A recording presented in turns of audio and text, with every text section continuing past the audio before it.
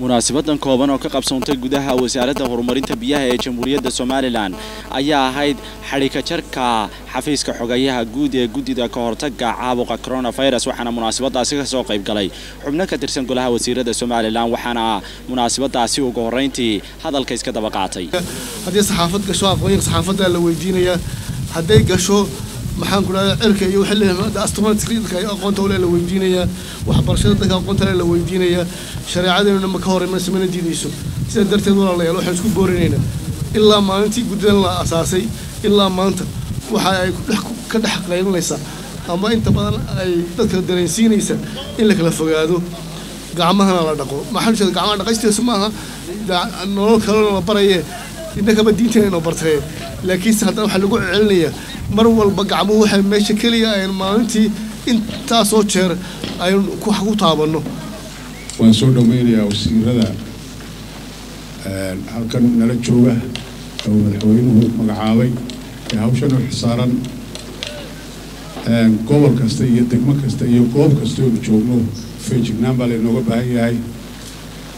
Waa ogtihiin dadkeennu qurbaha sida ilaahay weli maanta innagu waynu ka ladannahay laakiin qurba jooggeena sida ulaanaya waa ogsoontihiin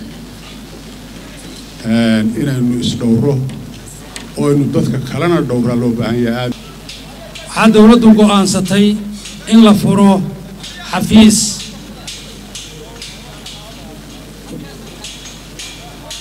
Ka shaqaynaya oo ah oo uu hoggaaminayo xogayaha guud oo noqonaya xafiiska shaqa maalmeedka ka hortagga cudurka coronavirus qabta. Madaxweyne ku-xigeenka iyo golaha wasiiraduna ay u noqon doonaan mustambeed ama ay hagi doonaan. Faafintiisana ina ka joojiyo dhammaan qof kasta oo innaga ina ka midina uu dee mas'uuliyaddiisa qaato. Waxaa la ogaaday yurub iyo north america iyo dowladaha asia ee uu ku dhaco inay waxay ku kala horumareen ay tahay amaawiirta iyo disiblinka iyo kala dambaynta iyo amar qaadashada. Xafiiskan waxaa loogu talagalay marka ugu horreysa in lagu ururiyo dhammaan daatada ama xogta xanuunkan heer gobol heer degmo ilaa iyo heer qaran.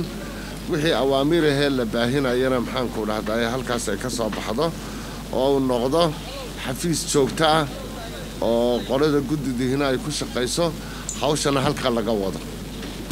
Su'aal la xidhiidha xanuunka haddaad u baahato adeegaba isbaari kara. Oo waxuu ku weydiinaya systemka haddaad doonayso inaad ogaato xaaladaada hal ku dhufo waxaa lagu weydiinayaa ma leedahay qufac qalalan haddii haa tahay waxaad odhanaysaa hal baad dooranaysaa haddii maya tahayna labo. Wuxuu leedahay xumad joogto ah hadday tahay haa hal baad dooranaysaa haddii kale maya.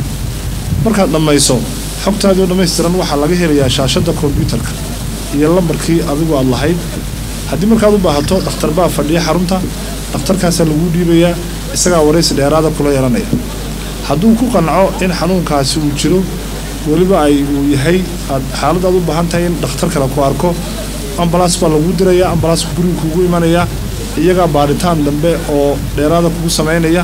Haddii marka ay noqoto in talo laguu siiyo inaad gurigaaga joogto ood aduu halkaa fadhido oonad ka bixinna halkaasaa go'aankaad ka helaysaa.